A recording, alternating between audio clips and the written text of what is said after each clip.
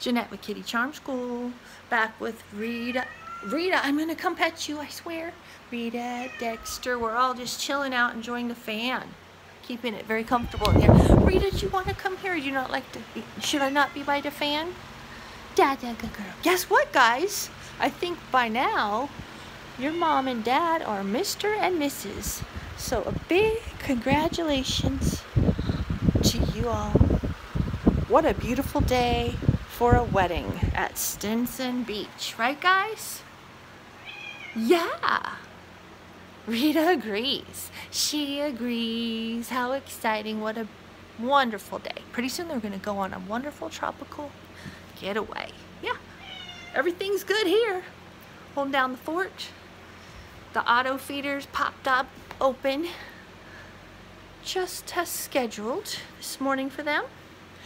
Yeah, where did Dexter go? Is he walking around? Two poops, two peas. The litter box is all fresh and clean. Water fountain's looking good. Fresh and there's the bowl of water. Checking the, the, the level on the water fountain's good.